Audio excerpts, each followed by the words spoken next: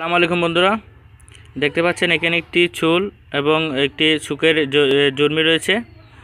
So এগুলো আমরা কোরআন শরীফ থেকে পেয়েছি। হ্যালো ভিউয়ার্স আসসালামু আলাইকুম। আশা করছি আপনারা অনেক ভালো আছেন। তো আজকের ভিডিওর টাইটেল এবং কি থাম্বনেল দেখে বুঝে গেছেন যে কোন বিষয়ে আজকের ভিডিওটি করতে যাচ্ছি। তো আসলে এরকম ভিডিও আমি কখনো করি না। তো ভাবলাম যে দুই দিন ধরে একটা ঘটনা আসলে আপনারা অনেকেই জানেন এবং কি আমিও জানি।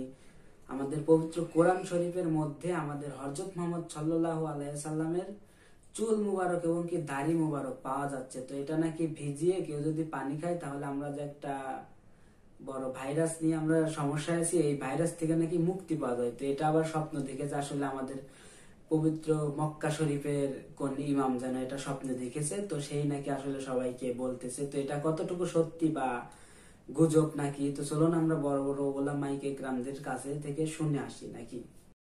আসসালামু আলাইকুম রহমতুল্লাহ প্রিয় দর্শক, যাচ্ছি আজকে নাটোর মাহফিলে।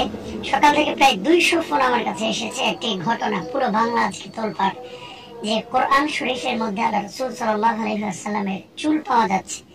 দেখেন, এই কথাটা একেবারে আজকে যেমন প্রচলিত হয়েছে, আজ থেকে চার পাঁচ বছর আগেও প্রচলিত হয়েছিল।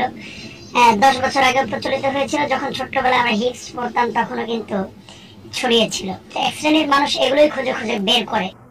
আরেকজন মূর্খ দাফন কাফন ও কবরের জীবন নামক এক বই থেকে একটি হাদিস দেখাল। যে হাদিসটি মূলত মৃত্যু যন্ত্রণার ভয়াবহতা বোঝানোর জন্য বলা হয়েছে। সে হাদিসটা সে ভিডিওতে শো করে বলছে যে কোরআনের ভিতর দিয়ে চুল পাওয়া যাচ্ছে, তাদের জন্য এই হাদিসটি প্রযোজ্য। নাউজুবিল্লাহ। সে বাংলা হাদিসটাও বুঝতেছে না। এই হাদিস দ্বারা মূলত মৃত্যু যন্ত্রণা বোঝানো হয়েছে। তো যারা ইমানদার, তাদেরকে বলব, ইসলামী শরীয়তে এমন কোনো নজির নাই যে কোরআনের ভিতর থেকে চুল বের হবে আর সেই চুল চুবিয়ে খেলে ভাইরাস দূর হয়ে যাবে। মূলত এটা একটা হলো গুজব। তো ভিউয়ার্স, আসলে দেখতেই তো পারলেন, সে কিন্তু খুব সুন্দরভাবে আমাদেরকে বুঝিয়ে দিল যে এটা সত্যি বা মিথ্যা। তো আমরা কিছু কিছু মানুষ আসি যে আসলে এটা নিয়ে আসলে গুজবের মতো সৃষ্টি করছে। তো আমার মনে হয় এটা করা ঠিক না। আমরা মুসলমান, আমরা আল্লাহকে ভয় করি।